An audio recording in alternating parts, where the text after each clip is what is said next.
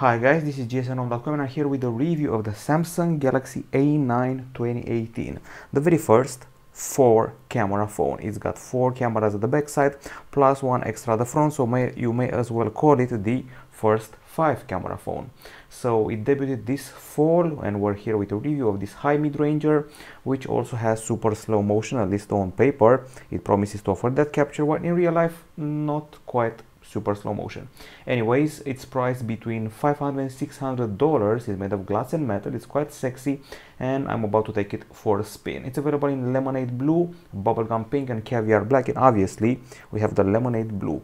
Now the handset you see here is a dual SIM version and it comes with a glass and metal chassis. There's glass at the back, metal frame and another glass panel at the front. Now of course everything is fine and dandy, it's premium, it's sexy looking but it's also rather massive.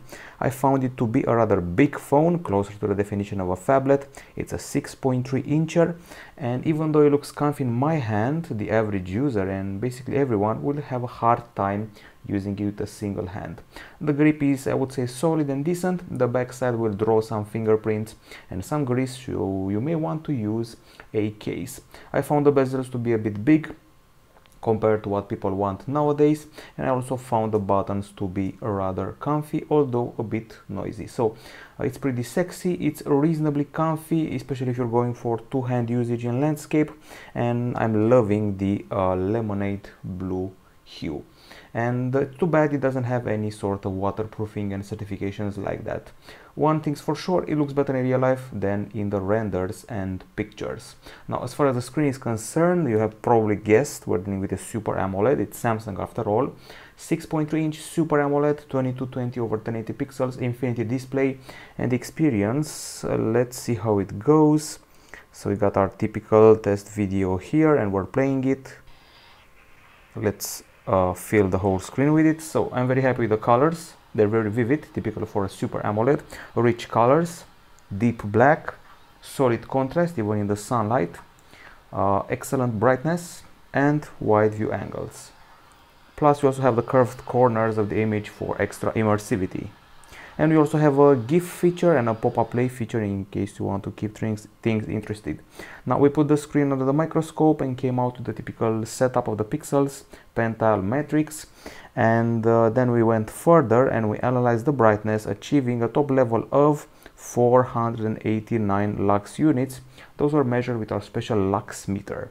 With this value, we beat the Sony Xperia XA2, the Huawei Mate 20 Pro, and the Galaxy Note 9, which is no small feat. Still, we got beaten by the Sony Xperia XA2 Ultra, iPhone 8 and Xperia XZ2. As usual, Samsung offers an array of customization features for the display. You can find them in the section aptly called display. There's auto brightness, there's regular brightness, blue light filter. Uh, you can mess around with the screen zoom, the font size and style also there is a screen mode which has been on Samsung phones for years now.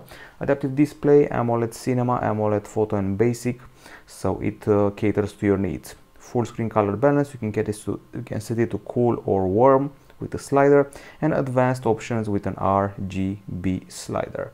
Then there's the easy mode, the full screen apps, the home screen, the icon frame, status bar, screen timeout, block accidental touches, and you can also mess about with the always on display with some clock styles, and you can also pick what other things to show the, the face widgets here with the music control schedule alarm weather. So the always on display has evolved over the past years. Overall a very solid screen and we move further to the processor. It's a very familiar face actually hugely familiar. Snapdragon 660 you've seen it on the nokia 7 plus and the xiaomi mi a2 this time it's accompanied by 6 gigabytes of ram and uh, 120 gigabytes of storage which uh, to me sounds uh, pretty impressive especially considering you also get a micro SD card slot. The phone doesn't suffer from any trace of lag so there was no problem with that. No matter what we did what we installed and what we played everything was spot on lag free no stutter. And uh, let's see what games we played here. So there's a special section for games. As usual it's pretty hard to find it. Game launcher here we go.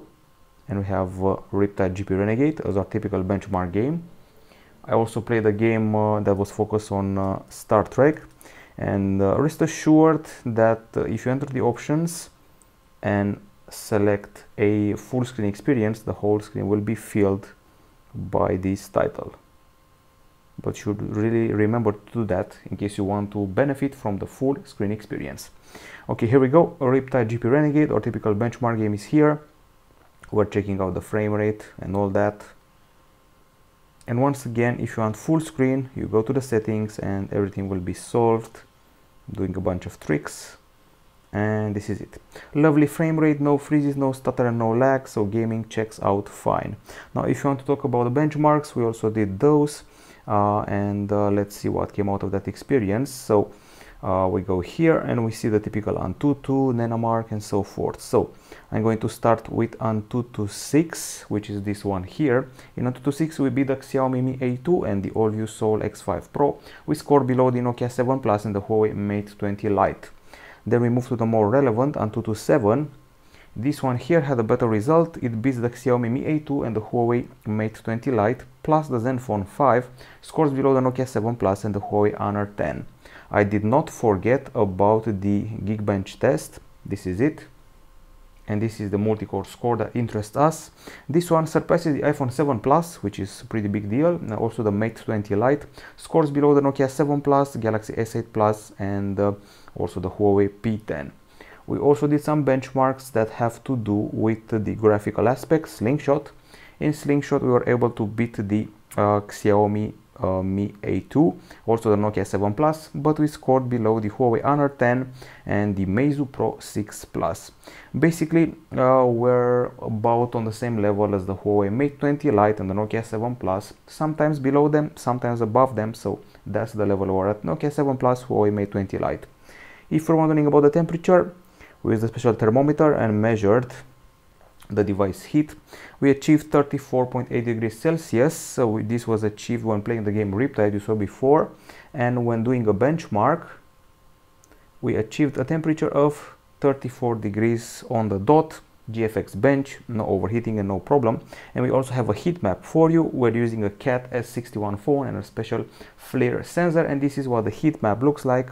It dissipates heat like a champ, doesn't have any seriously heated areas at the back side. Now this is all about the performance, let's talk about the battery. It's a pretty okay sounding 3800 mAh battery. It promises uh, up to 15 hours of Wi-Fi browsing or up to 19 hours of video playback. Now let's see how the device did in our own tests. Let's not let the paper dictate what we're dealing with here. So we're first of all talking about the video playback time in a loop and this is it finally. So when it comes to video playback in a loop 14 hours 57 minutes. This is excellent. This is close to the level of a battery phone.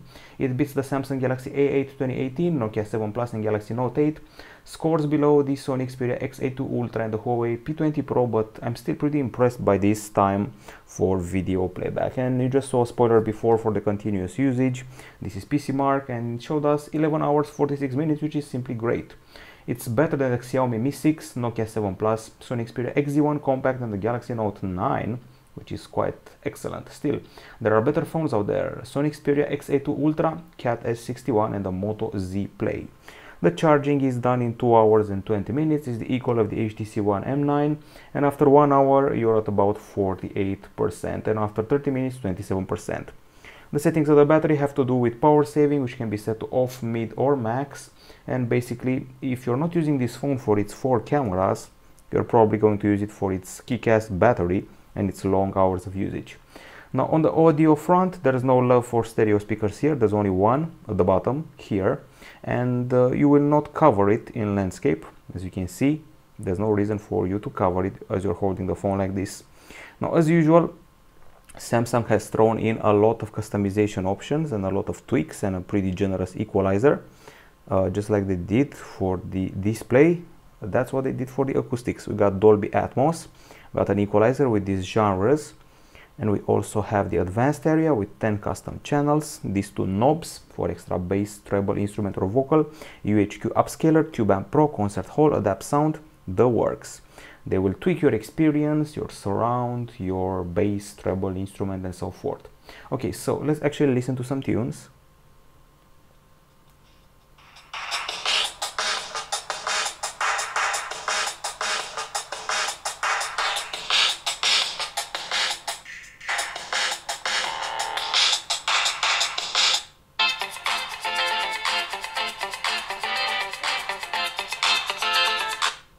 Okay, so some impressions. I would have to say I'm pretty satisfied with the bass and uh, the speaker is quite loud. It can cover a conversation of, let's say, small kitchen or bedroom. Um, the voice is warm, the guitar and synthesizers are very nicely rendered by this small but powerful speaker. There's FM radio here and there's a pair of headphones which you saw in the unboxing. The typical pair of headphones that Samsung offers with the Galaxy A series devices. Comfy and loud. Speaking of loud things, we did a decibel meter test and uh, we have two results to show you. The first of them being 89.5 decibels. This one is for an acoustic sample, typical standard test acoustic sample at the front and the back of the phone. It's better than what the Sony Xperia XA2 offer, the Huawei P20 Pro, and even the Asus ROG phone. Still, there are louder phones out there in this department, the Asus Zenfone 5Z and the Nokia 5. The main test is still the gaming one, and when it comes to gaming we got to 101.8 decibels which is mighty impressive it beats Xperia XA2, HTC U12 Plus and Nokia 7 Plus, still below Nokia 8 and below the Asus ROG phone, which is uh, basically the champ in this department. It's a very solid acoustic, solid acoustic experience, too bad there's no stereo speakers.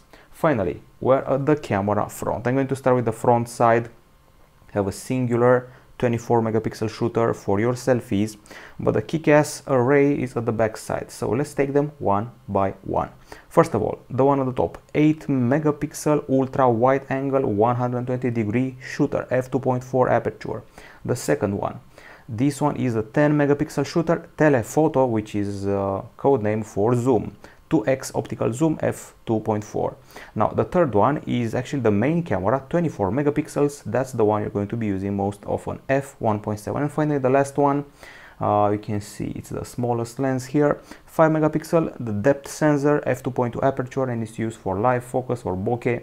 There's a flash here led flash and they promise you super slow motion. It's not 960 frames per second as far as i can tell. It's probably closer to 480 uh, frames per second. And there's also special uh, four direction lighting for the selfies portrait selfies portrait for the front and back camera scene optimizer flaw detection ar emoji bixby vision. And i'm going to go to the gallery because i don't want to bore you. Now we have 300 plus shots some of them were taken outside, some of them inside, and some of them during the night. Let's start with those taken outside. So, cloudy day with some pieces of sun, and I started straight with the main camera. This is 24 megapixels. There are a lot of details, as you can see. So, you can cross that off your checklist. Then we have the wide angle shot, which is pretty impressive it beats what Asus has offered on the Zenfone 4 and what LG has offered on the LG G5. They corrected stuff on the G6 and this is actually closer to the G6. It doesn't offer that annoying fisheye that some wide angle phones have, so I'm actually pretty happy with this one. So regular shot, wide angle shot and telephoto shot using the 2x option, which is actually not bad, but you'll see later on that if you zoom further, you won't be very happy with the result. Now the selfies were okay, actually the first ones were not very flattering. When i got rid of the beauty option they started coming to place more and here you cannot see my pores but if you get rid of the beauty option you may actually see them. Excuse the tired face lots of reviews lots of stuff to do. Anyways i'm happy with the texture of the face the texture of the eyes and also the hair and the clothes and even the background looks fine. For a 24 megapixel camera i actually expected this. Now uh, we go further here because we have a lot of shots. Now we also took some hdr shots and hdr fixes stuff. So if you're unhappy with the way the let's say clouds look in a certain area hdr will fix your shadows and your contrast in a pretty nice manner. This is one example. You can see here highlighted the actual contours of the clouds more shots here pretty weird sky in this area i would say it's weirdly blue even though it wasn't exactly that blue in real life. Anyways, uh, I forgot to say that I'm pretty happy with the color calibration, even though there's not much, much color here, but when we do get some color, they're pretty okay. I'm talking about the reds, the blues, the light greens, everything checks out. And of course, even more selfies, but this time I also activated the portrait live focus feature. This is the wide selfie, so you can actually catch more persons around you. And this is the portrait one, which is actually not bad. Didn't cut off my ear, didn't cut off any hair. so it knows how to delimitate between your visage and the background not bad I have to say actually not bad can fight something like the Huawei P20 Pro even or maybe even the iPhone 10 so portrait selfies pretty nice from me okay even more shots some beautiful landscape ones of natures still impressed by the clarity details and the colors. But once again if you're trying to zoom in after 2 or 3x you will lose some clarity for sure. And here we have some extra colors for you extra details. And uh, of course I also took live focus shots with these toys they're not bad at all even though the blur settings are limited. So there's basically two or three steps and the blur is a bit exaggerated if you ask me kind of uh, um, decreases a bit of your fascination with the uh, subject for the foreground. But you can tweak it on the go and you can see your subject how you want it. Okay so that's it in a nutshell. People have been wondering is the Nokia 7 Plus still the best mid-range phone out there well it is because it has better zoom than this one but this one is a very solid rival. So this has been has been the series of photos taken outside outdoors uh, in a pretty mixed day with the sun and the clouds and I was very happy with the results especially the details colors clarity uh, selfies and bokeh selfies. Two things that didn't convince me were the zoom and the bokeh with the main camera which feels a bit exaggerated other than that I have to say I'm pretty happy with the result I would say it increases the quality of the Galaxy A8 2018 beats the Nokia 8 beats the Nokia 7 Plus uh, but only minus the zoom and it beats most Xiaomi phones, most Asus phones and most Motorola phones. Now we also did some indoor shots, I actually attended an event, a gaming event and I have to say I'm not very impressed by what the device produced. So why am I not impressed? Because I have to say something. So in the same context I had an iPhone 7 with me, my own iPhone 7 and I found it to be better color wise and in the way it can handle the lights which will shine straight into it. This one catches more light but the iPhone 7 was more accurate color wise indoors.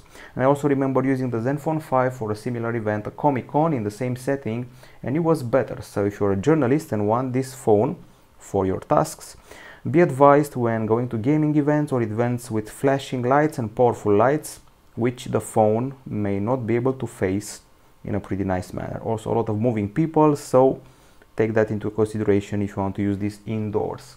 Now, uh, we're happy with the daytime, not very happy with the low light, oh, excuse me, uh, we're happy with the daytime, not very happy with the indoors. Let's go to the low light and see what happened there. By the way, we have some extra shots here of beautiful scenery. You'll see them in the full text review. So here we go, indoors are done. We're back outdoors during the nighttime. These are the low light shots and they're actually not that bad. Things are pretty bright, as you can see, during the night time. And even the wide angle shots are okay. Traditionally, phones with wide angle cameras tend to distort the image during the night time. Yes, I know it also happened here, but not to as much of a degree as I expected. Now the flash makes things a bit too white, so I would say it shines maybe too much and makes the image too white and here are several more shots. In general the clarity was okay the details were spot on and I found the street light halos to be okay in size. Even though if you switch to the wide angle camera there was a bit of color modification but nothing truly serious. You can see here the difference regular shot wide angle shot and you can also do some shape correction apparently the zoom wasn't as impressive during the nighttime as expected, but then again, not as impressive during the daytime either. Several more shots. The street halos are a bit too big for my liking, but I've seen worse, so in the end it behaves like one of the good mid-rangers. You will not see here something, well, uh, some phones out there have missed shots. This one, I didn't spot any missed shot or any problems with the shot, so that's nice. Uh, let's see what the shape correction is all about. So you got original and corrected. Hmm, interesting. Uh, it's probably part of that flow correction thing, so it's nice to see. Anyways, one of the best mid-rangers out there when it comes to photos, that's for sure. I have seen better, uh, like the Nokia 7 Plus for example, but it beats something like 99% of all the phones that have wide-angle cameras. In the video department, things will be complicated if I look them up here, so I think I'm going to look them up with a video player, which has got to be this one here, camera. And let me start with the uh, photos taken outside, or better said, the videos. Okay, so something to notice here. We have excellently calibrated colors. From what I remember, this should be a 4K video pretty nice clarity and all and I suggest you keep things 4K because I wasn't very happy with the Full HD. So when it's 4K you can actually confuse it with a video shot with a Galaxy S8 for example. In Full HD you're getting stuff like 17 megabytes per second, 30 frames per second, MP4 and that's what we're dealing with here. Now this was actually the first video I've taken. It's Full HD. The colors were okay. The panning was nice but the sky was a bit deformed color-wise. Just a bit. Nice microphone, I could hear people talking around me, I could hear the cars, I could hear all the ambience, so the first shot is okay. Uh, then we have a slow motion one, which is clearly not a 960 frames per second one, doesn't feel like it. Probably only 480 frames per second. Then there is the stabilization test, I walked around and there was a bit of a flicker and shakiness you can see the image trembling.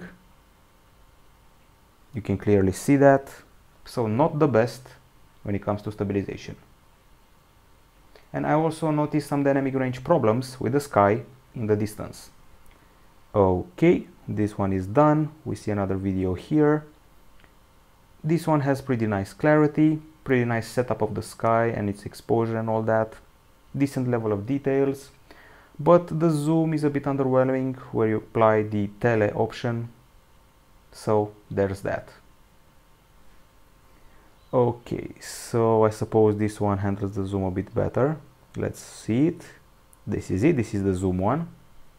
Instant tele zoom. Things look okay. If you go past 2x lots of grain and lots of noise. I want to highlight the microphone. You're probably going to be happy when you're going to a concert. And this is the selfie camera that's how it films. My face looks okay color wise brightness wise you could do some vlogging with it some youtube but the background you can see it's a bit murky it's a bit shadowy. Not the best dynamic range and exposure and all that but if you're focused on the face it's okay. If you don't care about the background should be decent enough for you. Extra colors here here we go. And if you look in the distance you'll see that there's a bit of graininess where there should be fine details. My advice stick to 4k don't try any stunts and be prepared for some weird dynamic range and uh, not that good of a zoom. Okay so that's that. Uh, I would say that it actually goes past the quality of the Galaxy A8 2018 I looked it up. That one burned the colors more so in the end you're not losing you're gaining Still, I found the Sony Xperia X XA2 and the Nokia 7 Plus to be slightly better in filming. Uh, this was the daytime, let's go to the nighttime and also quickly to the indoors. Not impressed by the indoor shot. I know it looks okay on the small screen, but on the big screen there's a lot of grain. Uh, it has troubles adjusting the exposure to the light. So once again, for events, you could do better than this one and the zoom is also a bit underwhelming. Okay uh, I promised you low light but I want to start with the other one. Here we go. Now here we start uh, straight with refocus which is not flattering. Pretty nice panning no motion blur when capturing motion decent enough colors. Uh, street light halos are a bit big things are shaky. When you zoom in there's a bit of grain some odd reflections but the colors and clarity are pretty okay and here we're actually moving we're in motion. The level of yellow is acceptable the microphone is good nice clarity big halos. This one actually beats the Sony Xperia XA2 and it, I find that 90% of other mid-range phones will not do better than this so in the end it's quite okay. But to be honest we need more for the end of 2018 people are actually going indoors and you saw me being disappointed by the indoor captures now let's go further and by further I mean web browser. You can use Chrome or you can use Samsung Internet. I opted for this one. Let's load up GSMDome.com. Here we go, Samsung Internet. the pretty decent speed and a pretty decent set of benchmarks. For input you're using the stock Samsung keyboard with an extra numeric row and these are the keys, pretty large and well spaced. On the connectivity front, I already informed you that we're dealing here with a duos, dual SIM version basically. Uh, there's also single SIM version out there got an USB Type-C port at the bottom, LT category 9, Wi-Fi A, B, G, and AC. There's MIMO support. There's also Bluetooth 5.0, ANT+, GPS, GLONASS, Beidou, Galileo. The calls were loud and clear, and we also did a speed test. Uh, so let's check it out these are the results we achieved. So when it comes to 4G, we achieved 241 megapecond downloads, 67.9 megapecond uploads. On Wi-Fi, 388 megapecond downloads and 25.7 megapecond uploads. So that's quite nice, quite solid, especially for a mid-range phone, not a flagship. Now on the software front, things are a bit disappointing. It's only Android 8.0.0. I wanted Android Pie or at least Android 8.1. Nope. 8.0.0 with Samsung Experience 9.0 on top. So things aren't hugely different from the last time you saw a Samsung phone. I'm talking about the interface. It's glossy, it's colorful, it's playful, it's got Bixby as an aggregator on the leftmost home screen. It's got a Bixby button right here if you want to ask it stuff. It's still no match for Siri, Google Assistant, even Cortana. These are the things it aggregates. You can opt for other stuff here. You got your temperatures, your calories, your news, your Giphy, your recommendations, and that's the Bixby home screen. Now you're doing multitasking like this. You can do the carousel or you can do the split screen. And let's find another app like maybe the um, let's see Samsung internet would be a good idea. So you're doing web browsing, you're also going around the settings and you can also apply a sort of uh, pop-up play like feature to have a smaller window overlapped on top of a big one. And that's it for multitasking. Carousel split screen and overlapping. Then if you want to customize the experience you got the wallpapers themes and widgets and home screen settings. The widgets are typical samsung. Everything has white borders white background transparency. And here are the settings related to the grid layout badges apps and so forth. And you can opt for portrait mode and landscape mode, so you can alternate between them in the home screens or not. If you want to only keep portrait, there's an option for it. Okay, so that's that. If you're swiping down, you're going to see notifications and quick settings as usual, mobile hotspot, blue light filter, touch, etc. And uh, here we have the settings. There's the connectivity, sounds and vibration, notification, wallpapers and themes, and the advanced features. We have a gaming feature, which is basically a collection of games, smart stay, one hand mode, finger sensor gestures, quick launch camera by double pressing the power key and let's actually do it. And that's how it's done. Okay. Multi-window, smart capture, direct call, dual messenger used to separate accounts for the Facebook Messenger, send SOS message which may save your life, here we have device security. You can scan for malware and dubious activity and find batteries that are, excuse me, find apps that are draining your battery. Then we have the lock screen uh, and biometrics. Here we have face recognition and fingerprint scanner. There's something cool here. I don't know if you know this, but uh, Galaxy S9 inaugurated a feature that lets you only swipe gently on it to register it and to unlock it. And that's what you can also do here. So uh, let's go back you can gently swipe on it to unlock the phone and it works like a charm. It truly works pretty fast and i was happy with the speed and accuracy of the fingerprint scanner. Now the face unlock a bit slow for my taste but nice accuracy as well. Okay those are the options and the settings. Let's talk about the apps. I counted them. There's 36 of them.